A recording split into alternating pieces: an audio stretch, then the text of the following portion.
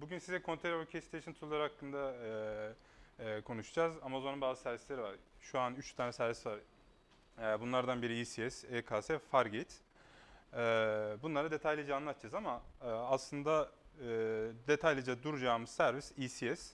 E, ECS'in komponentleri falan hakkında konuşacağız. Başlamadan önce e, biraz kendim hakkında bilgi vereyim. Ben şu an Siemens'te çalışıyorum. E, Senior DevOps Engineer olarak.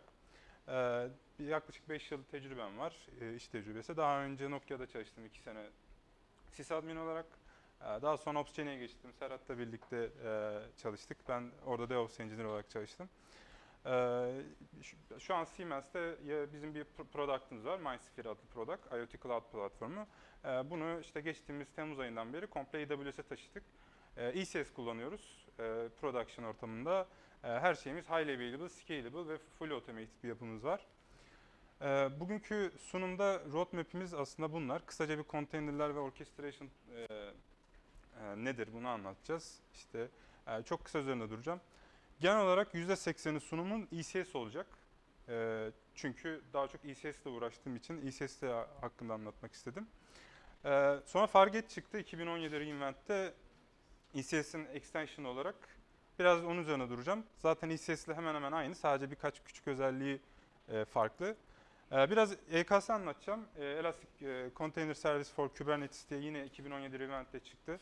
Aramızda Kubernetesçiler varsa daha daha iyi anlayabilir konuyu. En sonunda biraz demo, bir demo olacak. Bir tane Spring Boot application'ı Terraform ile ECS'e deploy edeceğim ve bunun monitoring'i nasıl yapılıyor, logging'i nasıl yapılıyor, Amazon bize ne gibi yarar sağlıyor, e, scale nasıl ediyoruz, instant scaling, task, task scaling bunların üzerinde duracağız. Yani e, aslında bir nevi bir production'a kod gönderince production'da ne gibi e, e, application'ımızı manage edeceğiz bunlar üzerinde duracağım. E, ilk olarak containerler üzerinde başlayayım. 2002 yılında e, Linux namespace'ler çıktıktan sonra Google tarafından 2006'da e, kontrol gruplar e, çıktı ve 2008'de de Linux container yapısı ortaya çıktı. Bu traditional VM'lerden sonra e, gelen e, büyük bir evolution oldu.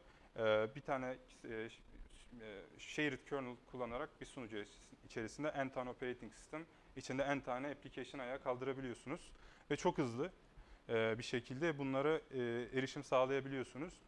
Bunları package'lıyorsunuz ve e, bu bu konteynerlerden, bu konteyner oluşturan imajları package'layıp istediğiniz registry'ye kolaylıkla pushlayabiliyorsunuz. Ee, Linux konteynerler 2008'de çıktıktan sonra 2013'te Docker çıktı. Docker e, open source, lightweight bir platform. Ee, Linux konteyner e, yapısını daha da e, customize edilmiş bir şekilde e, bizler için sunan bir e, open source tool. Hem şu an Windows'ta da native olarak çalışıyor. Ee, geçtiğimiz senelerde çıkmıştı. Ee, yapacağınız yine imajları e, build edip ship e, yani deploy edip application'ınıza ayağa kaldırabiliyorsunuz. Ee, tabii e, konteynerler ortaya çıktı ama şimdi bir sürü mikroservis yapısı var. E, bu mikroservisleri konteynere deploy ediyorsunuz ama bunları nasıl manage edeceksiniz? E, burada da orchestration diye bir e, terim ortaya çıktı. E, bütün bu konteynerlarınızı manage etme, bunları scale etme, monitör etme, e, service discovery tarzı e, işlemleri görecek bir terim ortaya çıktı. Bu e, bu mottoyla e, farklı farklı open source tool'lar ortaya çıktı. E, 2014 yılında Kubernetes ve Google Container Engine ortaya çıktı. Google Container Engine Kubernetes kullanıyor native olarak arkasında. Amazon da bir atılım yaptı. 2014 yılında ECS'i duyurdu dünyaya. Ee, sonra 2017 yılında yani geçtiğimiz reInvent'te EKS ile Fargate'i ortaya çıkardı. Bunun dışında Docker'ın kendi çıkarttığı Docker Swarm ve Docker Swarm Mode diye farklı orchestration tool'ları var. Ee, bunlar bu gördüğünüz scaling, monitoring, logging, service discovery, load balancing, health checks'ler, e, application'lar ayakta mı değil mi, kaç tanesi ayakta gibi şeyleri kolay bir şekilde hem e, visualize edip hem de bize e, gösteren e, tool'lar. İlk olarak orchestration tool'umuzda ECS'i anlatacağım. ECS dediğim gibi 2014 reInvent'te Amazon tarafından duyuruldu. İlk ismi EC2 Container Service ama daha sonra Elastic Container Services diye adlandırmaya başladılar. E, mottoları Highly Scalable, High Performance Container Management Service diye. Yani yapacağınız bir e, cluster'ı e, farklı availability zonlarda e, manage edebiliyorsunuz. İçerisine e, instance'lar açıp bu instance- instance'ların içine e, konteynerleri ayağa kaldırabiliyorsunuz. E, daha detaya gireceksek ECS ne yapıyor? E, mesela lokalinizde bulunan konteynerleri pushladıktan sonra Amazon'un ECS servisinde bulunan ECR registrisine birazdan anlatacağım. E, bu konteynerleri e, ayağa kaldırabiliyorsunuz. Kaç tanesi ayakta, kaç tanesi ölü, kaç tanesi pending durumda bunları görebiliyorsunuz. Historisine bakabiliyorsunuz. E, bunları bir load balancer varsa bu load balancer'a bağlayabiliyorsunuz. Çünkü e, konteynerlere direkt dünyadan erişmek e, best practice'lere uygun değil. Çünkü portları değişebiliyor. Hele dynamic port falan atadıysanız. Bunun önüne genelde best practice'lere insanlar load balancer bağlıyor. Bu load balancer'ları ECS'e çok kolay bir şekilde attach edebiliyorsunuz. Ve daha da önemlisi aslında Kubernetes'teki scheduler mantığı gibi ECS'te de bir scheduler mantığı var. Burada bir e, stratejileri var. Birazdan onun, onun üzerinde duracağım. E, task'ları yani konteynerları, task dediğim burada konteynerları e, schedule ediyor ve e, kaç tanesi ayakta, kaç tanesi minimum seviyede bunlara bakabiliyor. E, ECS nasıl çalışıyor? ECS EC2 instance'ı kurdunuz. Bu EC2 instance'ın içine open source bir ECS agent ku- kuruyorsunuz. Hatta şöyle göstereyim. E, ECS agent'ı kurduktan sonra bu ECS agent'ı e, ECS'in kendi Amazon'daki API ile konuşup kendini register ediyor, join ettiriyor. Tabii bunu kurarken bazı konfigürasyonlar falan da girmeniz gerekiyor. Ee, bunu kurduktan sonra container instance'ınız artık ECS cluster'ına join olmuş oluyor. Ee, güzel bir yanı istiyorsanız evinizdeki bir bilgisayarınız var, sunucu olarak kullanıyorsunuz. Bunu da ECS'deki cluster'a join ettirebilirsiniz. Evet. Şimdi şöyle Amazon aslında biz o, worker veya da master node tarafını göstermiyor. Kendisi ECS API tarafında bir master e, topolojisi var. Aynen. Biz aslında e, kaldırdığımız EC2 instance'larda içine kurduğumuz ECS agent'ı bir nevi Kubernetes'te kubelet gibi. Aynen. O şekilde şey yapıyor, join oluyor. E, tabii evinizdeki sunucuyu e, bağladınız ama bunun için de Amazon credential'ları falan gerekiyor. E, ECS'in bazı komponentleri var. Bu altı komponent üzerinde duracağım. Bunlar e, e, önemli komponentler, en önemli komponentleri. Birincisi cluster, e, az önce de bahsettiğim gibi bir sürü EC2 instance'ınız var. Bunların hepsini gruplandırabiliyorsunuz logical olarak. Yani e, 10 tane instance'ınız varsa bunları 3 tane cluster'ın içine bölebiliyorsunuz. E, tamamen logical grouping, başka bir şey amacı yok. E, e, cluster'lar region spesifik yani e, Frankfurt'ta açtığınız bir cluster'ı diğer cluster, e, region'da göremiyorsunuz. E, Fargate ve EC2 launch type'larını destekliyor. Şimdi az önce Fargate'den bahsettim. Fargate üzerinde duracağım. E, burada yani ECS'te anlatacağım bütün topik EC2 launch type üzerinde olacak. Yani e, instance management işine de giriyor. E, EC2 launch type yapınca instance'ları scale de etmek zorunda kalıyorsunuz. E, tabii bunun artıları eksileri var. Birazdan onu da anlatacağım. Multiple container instance type destekliyor. Yani diyelim ki M, M serisi bir makine açtınız. Bunu cluster'a join ettiniz. Bir de C serisi CPU optimized makine açıp bunu da join ettirebiliyorsunuz. Ve daha da güzeli bir servisiniz var diyelim. E, bir mikro servisiniz. Bu mikro servis çok CPU istiyor. Çok CPU optim, e, require ediyor. Onu CPU based makinenin içine e, constraint belirleyerek atabiliyorsunuz. E, tabii bazı IAM polisiler belirtebiliyorsunuz cluster için veya hangi servislerle konuşsun, hangi servislerle konuşmasın diye. E, burada kısaca bir şeyi var, e, topolojisi var. E, bir autoscaling grubuna, şurada autoscaling grubuna 3 tane mesela container instance bağlanmış. Bu arkadaşlar autoscaling grubunda scale edip e, scale down yapabiliyor, scale in, scale down yapabiliyor. E, bu şekilde Amazon'daki bir e, görüntüsü var. E, şurada Fargate yeni geldi 2017'de. Ee, bu şekilde bir segmede de görebiliyorsunuz. Ee, bizim anlatacağımız EC2 şu an. Burada e, cluster'ın e, CPU ve memory utilization değerlerini görebiliyorsunuz. Bir tane reg instance register olmuş.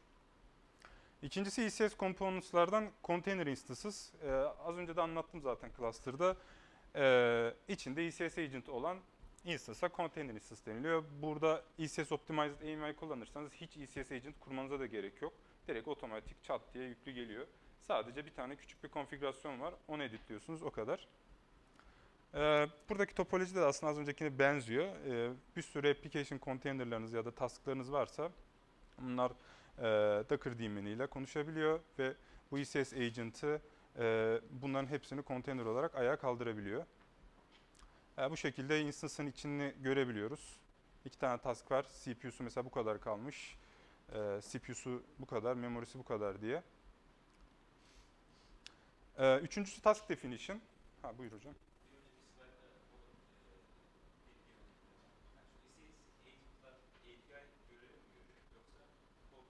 ECS agent mi? ECS agent az önce dediğim gibi kublet gibi hareket ediyor. Yani gidip ECS apisiyle konuşuyor. Yani Kub- Kubernetes'teki aynen. Aynen. Aynen. Ee, Kubernetes master burada aslında ECS'in apisi. ECS agent da burada kublet gibi. Yani comparison yapıyorum Kubernetesçiler için. Task definition. Üçüncü task definition. Şimdi e, task definition şöyle. e, mesela tasklarınız var. Bu tasklarınız aslında e, birazdan anlatacağım. Containerlarınızın logical isimlendirilmesi. En tane container bir tane task oluşturabiliyor. Bu taskların oluşması için bir tane definition veriyorsunuz. Şurada. E, bu definition JSON formatında oluyor.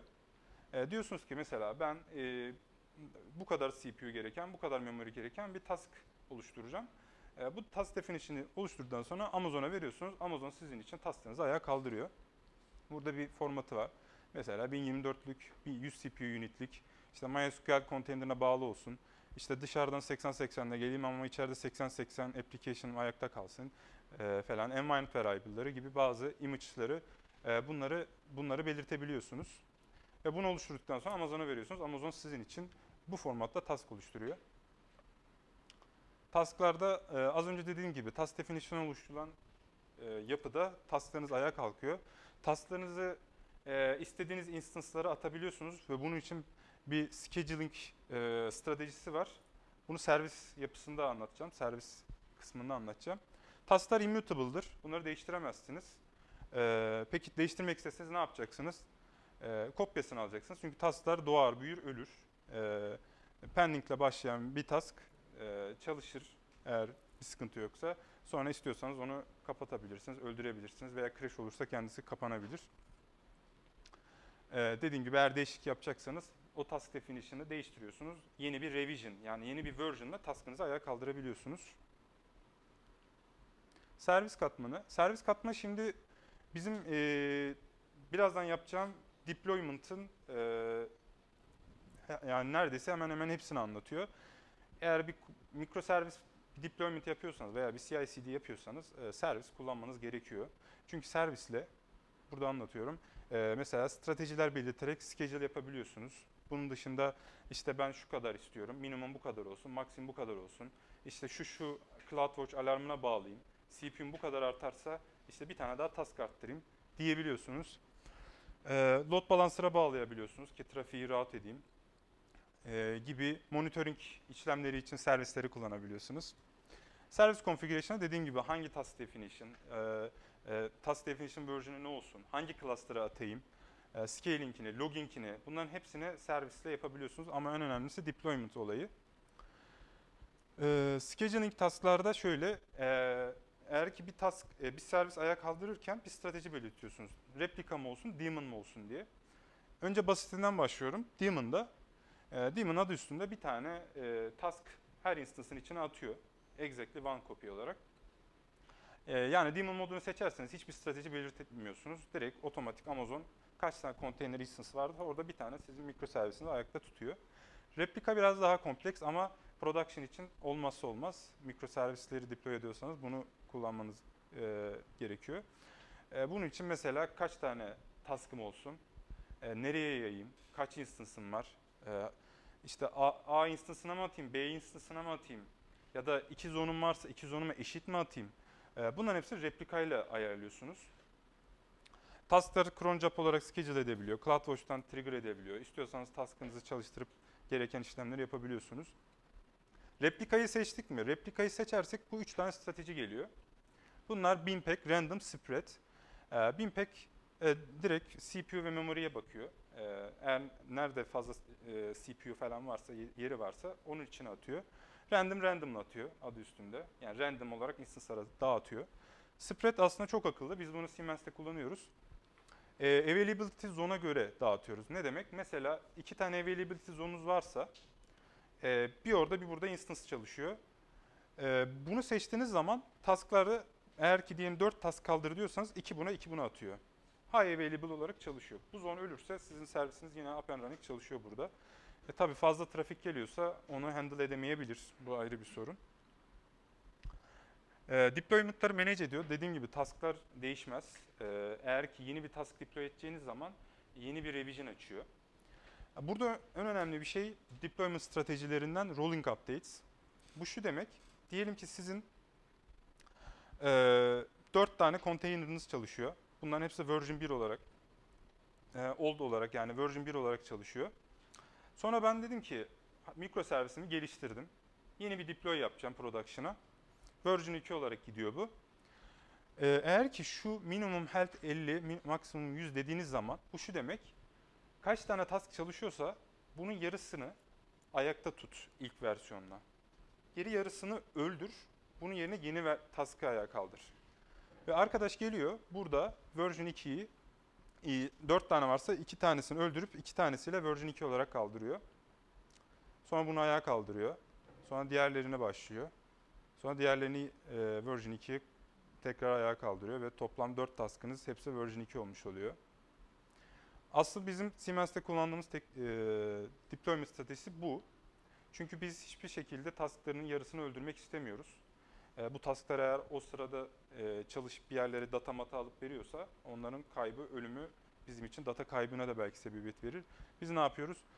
Eğer ki 4 tane e, version 1 çalışıyorsa şu stratejisiyle yani çarpı 2 kadar task oluştur demek bu. Toplam 4 tane version varsa 4 tane de version 2 açıyor. Bunları pending'den new'e geçince diğer 4 tanesini öldürüyor. Ee, burada çok çok önemli bir konuda servis autoscaling. Ee, günümüz dünyasında, cloud dünyasında artık insanlar niye cloud'a giriyor? Bir şeylere scale etmek için. Artık e, downtime'lar, bu tür şeyler e, kimse e, downtime'a izin vermek istemiyor. Bunun için scaling e, stratejilerine giriyor. Amazon ECS bizim için e, iki tane e, scaling stratejisi veriyor. E, bir tanesi service scaling, bir tanesi instant scaling. Service scaling'den kastım task scaling aslında. Şu soldaki arkadaş task scaling, sağdaki de instant scaling'i anlatıyor. Ya diyelim ki siz e, 4 tane task çalıştırıyorsunuz. Eğer ki bir servisin, yani bu 4 task oluşturan servisin CPU değeri 80'i geçerse bir tane daha task arttır diyorsunuz. 5 task, 6 task'a çıkıyor.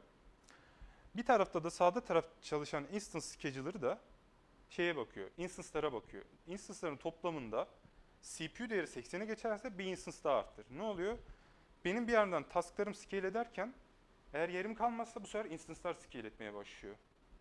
Ee, bu şekilde e, minimum şekilde downtime ma e, e, minimum şekilde downtime oluyor. Eğer olursa o da.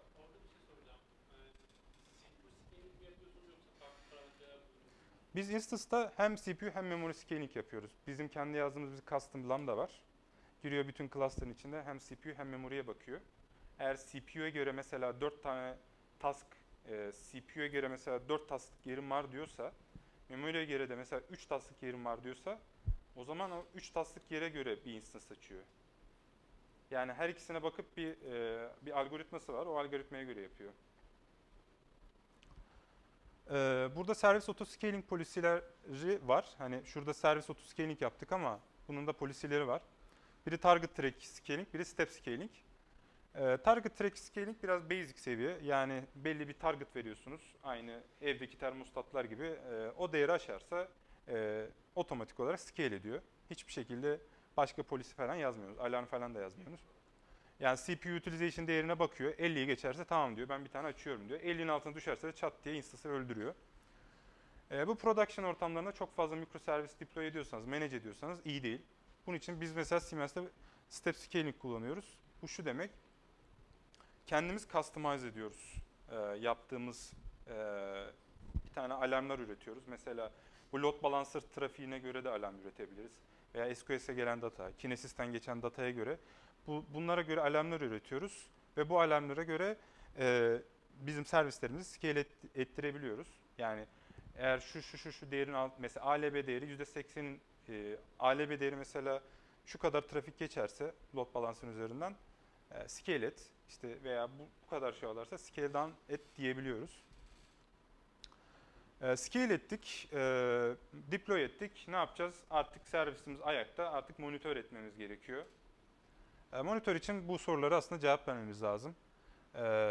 Niçin monitoring yapacağız? Hangi kaynaklar var? Metrikleri ne olacak? CPU'ya mı bakacağız? Memory'e mi bakacağız? Load balancer mı? E, ben Kinesis kullanıyorum. Kinesis değerinden bakacağım? Veya e, hangi taskları, hangi tool'ları kullanacağım? Bir şey olursa kime alert gidecek? Mi kullanacağım gibisinden. Bu şekilde bir e, soruları cevapladıktan sonra mesela e, CloudWatch Amazon'un kendi servisi ve ECS'i cluster açtığınız an içine instance koyduğunuz an çat çat e, CPU ve memory değerlerine bakıyor ve bunun için CloudWatch'a basıyor. Diyelim ki cluster'ı açtınız bir de servis deploy ettiniz. Bu sefer servisin de scaling'ine bakıyor. Yani CPU'su servisiniz bu kadar.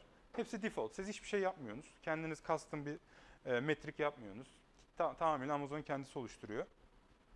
E, bu şekilde mesela şurada bir boşluklar var. Bu servis scaling'inin e, şurada birazdan göstereceğim Hello World uygulamasının e, dataları, e, CPU ve memory değerleri. Burada boş. Niye boş? Çünkü buralarda e, ben shutdown etmiştim. Data gelmediği için, data point gelmediği için buralar böyle boş gözüküyor.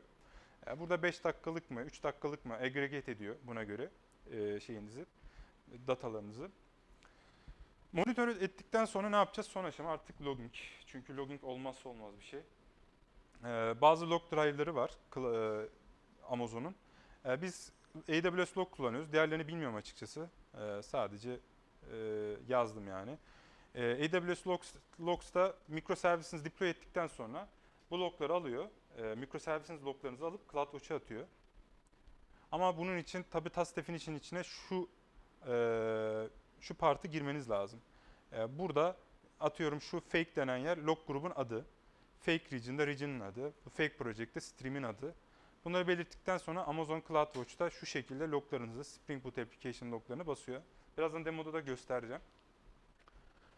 Ee, ECS'teki son komponent ECR. ECR belki biliyorsunuzdur çoğunuz. Ee, hub.docker Docker.com gibi bir e, Amazon tarafından manage edilen registry. İmajlarınızı burada e, manage edebilirsiniz. E, çünkü ECS'de e, entegre bir şekilde çalışıyor. E, sonuçta e- Amazon'un e, data center'larında olduğu için ve ECS'e de e, yakın olduğu için biz e, ECR'ı kullanıyoruz. Çünkü başka bir private registry'den çekmesi zaman alabilir diye.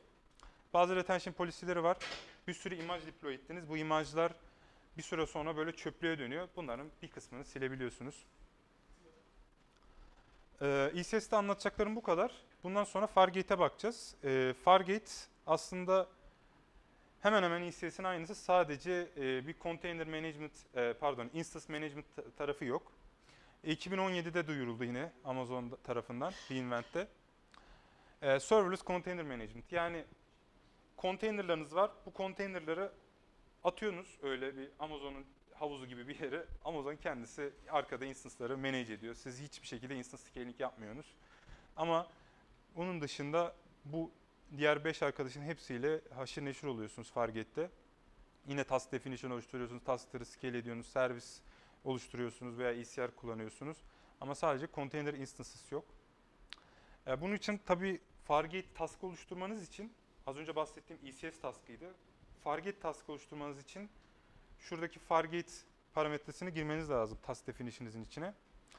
Ee, bunun dışında Amazon VPC Network Mode'u enable geliyor. Bu nedir? Bu şu.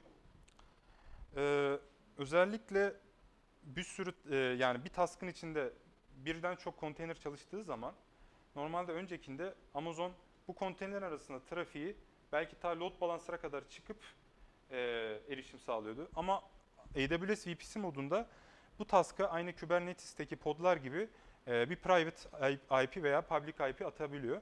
Eğer public subnet'teyseniz public IP atıyor. Private subnet'teyseniz sadece private atıyor. Yani her task'ın bir IP'si oluyor. Ve bu arkadaş API web'le konuşacağı zaman şuradaki loopback'ten dönüyor. Trafik bu şekilde gidiyor. Yani bu, bu, bu şekilde latency yaşamıyorsunuz.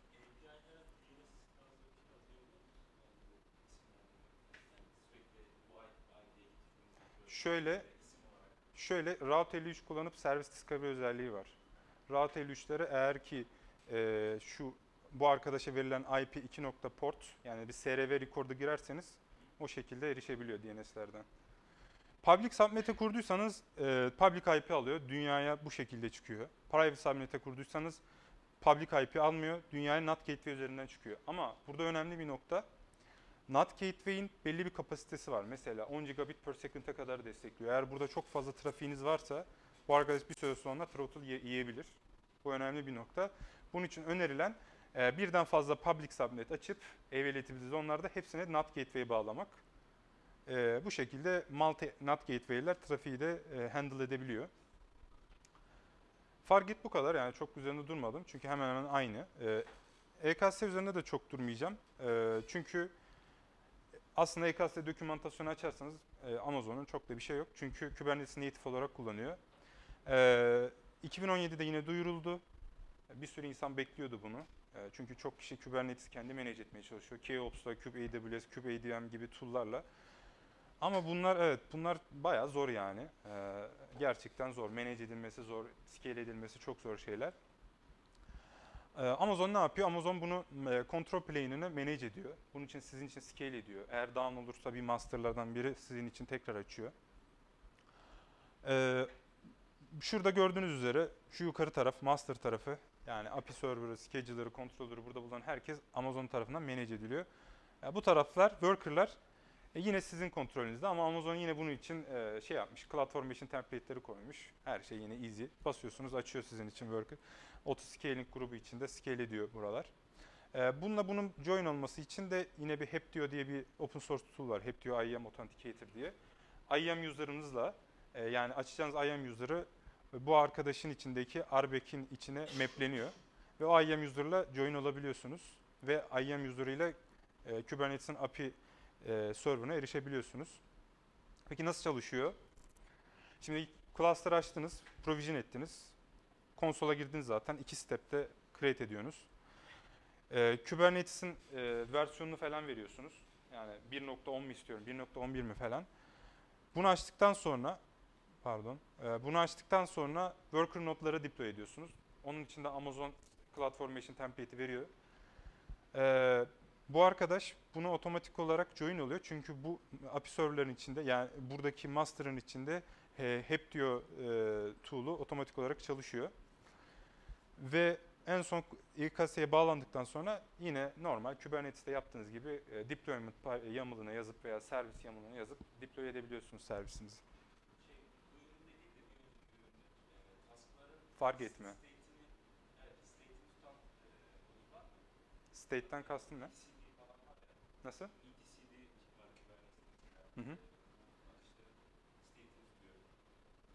Yani şu Farget'le ilgili e, yani herhangi bir site tutan bir şey görmedim. Yani e, belki de onu göstermiyor olabilir Amazon bize. E, yani Farget'le ilgili şöyle geleyim.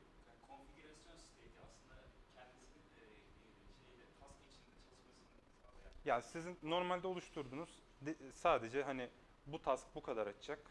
e, bu şekilde scale edeceksiniz. Aynen.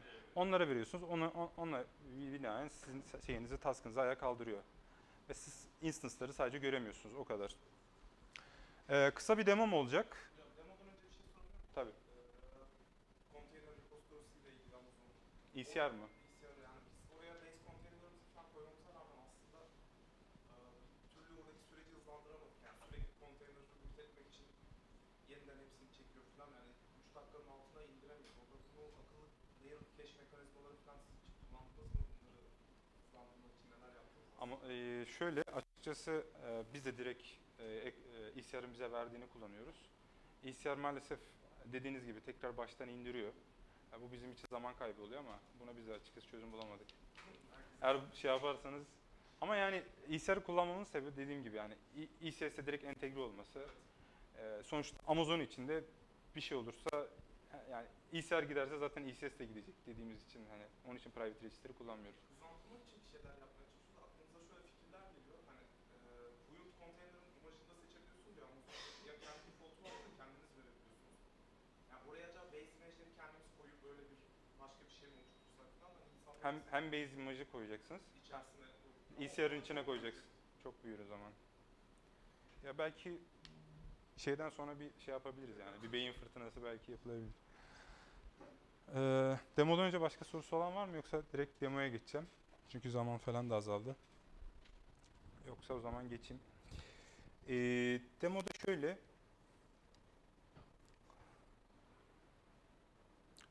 Bir tane Spring Boot application'ı var. Basic, Hello World. Başka bir şey yok. Ee, bu Spring Boot Hello World application'ı bazı Terraform'lar ile e, deploy edeceğiz. Ama bu arkadaş önce deploy etmeden önce e, deploy edeceği cluster'ı oluşturuyor. Yani deploy etmeden önce bir altyapıyı da oluşturuyor, create ediyor. Ne var bu altyapıda? Cl- e, bir tane instance e, cluster yaratıyor. Cluster'ın içine e, instance koyuyor. Load balancer yaratıyor. Bunları attach ediyor. Sonra servis yaratıp deploy ediyor. Bu şekilde. Ee, bunların hepsini GitHub'a koydum. Ee, paylaşacağım. Ee, bunlar üzerine çok detaylı durmuyorum. Ee, sadece çok hız- hızlı bir şekilde geçeceğim. Mesela ALB Terraform içinde target gruptur, ALB'dir. Bunların hepsi yaratılıyor bu şekilde. Instance scaling yaratıyor. Yani az önce anlattığım gibi belli bir sayıya erişirse instance'lara scale et diyebiliyoruz. Service scaling'de, e, pardon task scaling'de belli başlı sayıda task'ları arttır, azalt diyebiliyoruz. Serviste ise e, task definition'ı oluşturuyoruz. Birazdan bu Gradle projesi olduğu için build yapacağım. Jar'ın oluşturacağım. Bunu e, task defini, e, imajın içine koyacağım. Sonra task definition oluşturup servisi yaratacağım. E, şöyle basayım. Çünkü biraz zaman alıyor.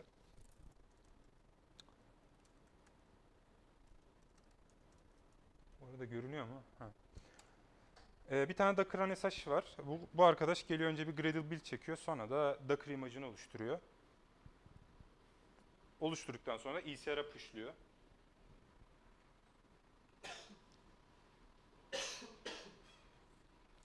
Sonra Terraform'u deploy edeceğim. Terraform'u deploy etmeden önce bir Terraform initialize çekiyorum. Çünkü bilmiyorum aranızda Terraform ku- kullanan var mı ama Terraform'la deploy etmeden önce Terraform bütün yapılan infrastructure'ın state'ini tutuyor. Ve bu state'i de S3'te ben saklıyorum. Ee, initialize et derken git benim S3'teki lokasyonuma git. Beni bul oraya geleceğim birazdan demek bu. Şimdi Terraform plan çekiyorum.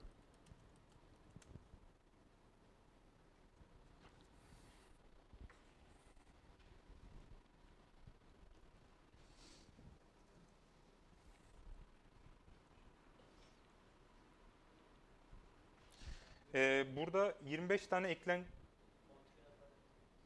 He? Vallahi fontu nasıl büyütür? Nasıl?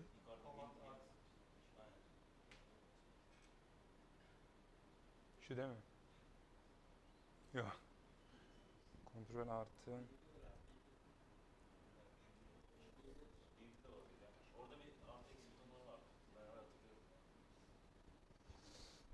Görünmüyor mu hiç? Evet çok görünmüyormuş. Nasıl abi? Evet tamamdır. Tamamdır. Ee, 25 tane eklenecek şey olduğunu söylüyor. Bu az önce gösterdiğim bütün terraformları birazdan e, Amazon'da yaratacak. Ee, bunu apply'e basıyorum. Bir yandan da şeye bakacağız. Bu 25 tane eklenecek şeyi, cluster'ı, e, instance'ı, load balancer'ı, servisi, rolleri e, ve geri kalan birçok şeyi, security grubu hepsini birazdan yaratacak. E, bu yaratmadan önce şeyi de açalım.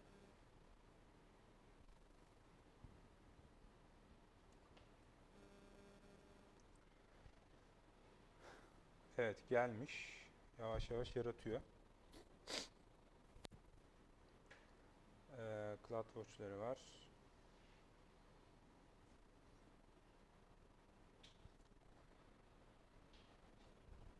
Ee, şu an load balancer'ı yaratıyor provisioning modunda.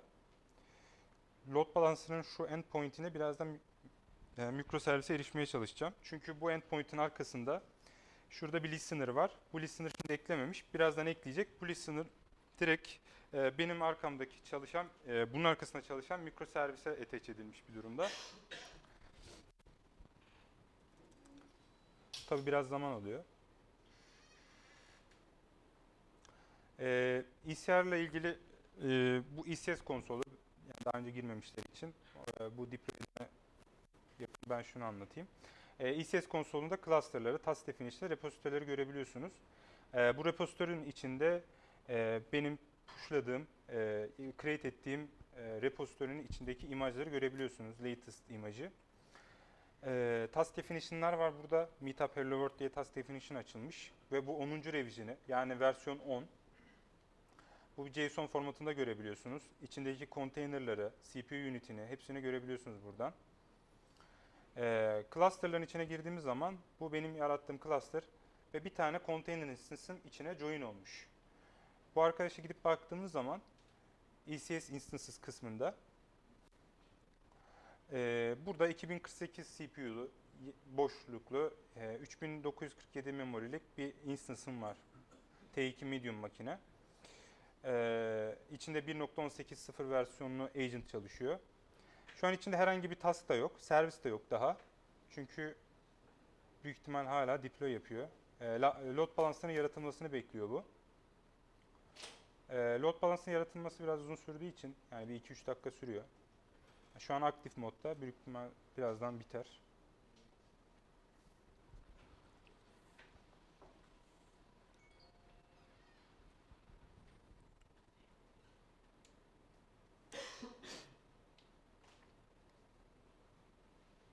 Ee, bunun dışında CloudWatch'a girip bakarsak eğer, e, CloudWatch'ta dediğim gibi monitoring ve logging işlemlerini burada yapıyoruz.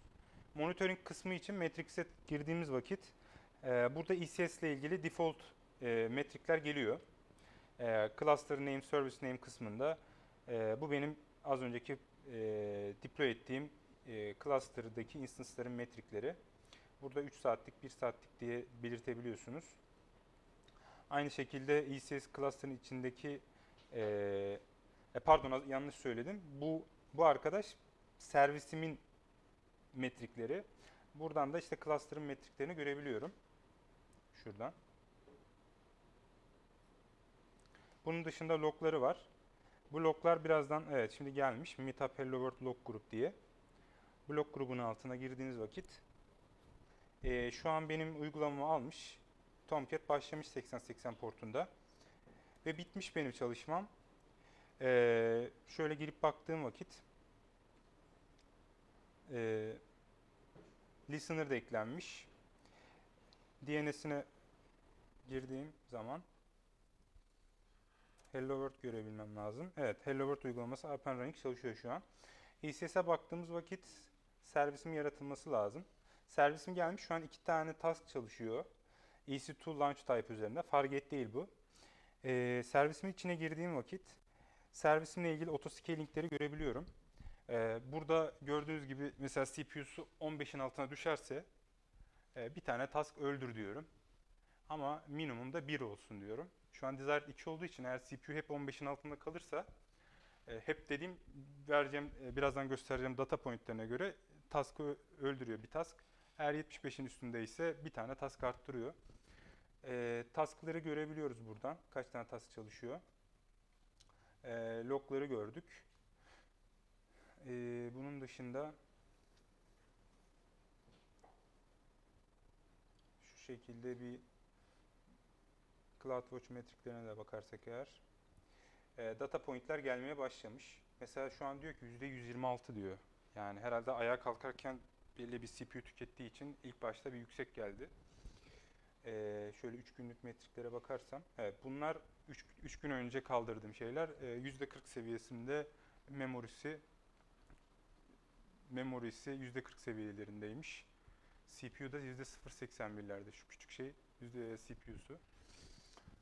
Ee, bu şekilde açıkçası daha fazla çok da zamanınızı almayayım. Bu şekilde yani. Var mı sorusu olan? Teşekkür. Çok teşekkür ederim. Ben teşekkür ederim.